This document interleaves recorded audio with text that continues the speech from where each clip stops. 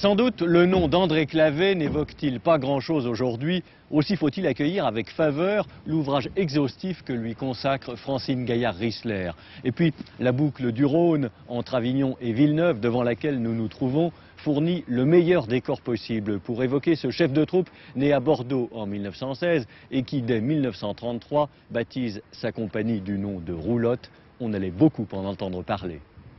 André Clavé a fait partie de cette cohorte de pionniers qui ont incarné ce grand mouvement né dans les années 30 et que l'on a appelé la décentralisation théâtrale.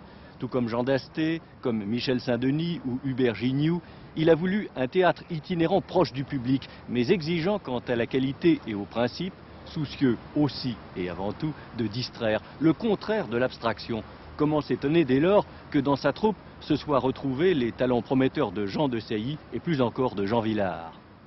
Pendant la guerre, André Clavé se rapproche du mouvement artistique Jeune France qui regroupe des créateurs de diverses disciplines. Il se lie avec Paul Flamand, le fondateur des éditions du Seuil, avec le compositeur Pierre Schaeffer et reçoit le soutien de Pierre Freinet.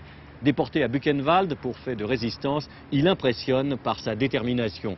Ensuite, il œuvrera dans la coopération culturelle et dans la recherche. C'était à l'évidence un homme de qualité profonde. Pour qui aime le théâtre populaire, il était temps de renouer avec lui.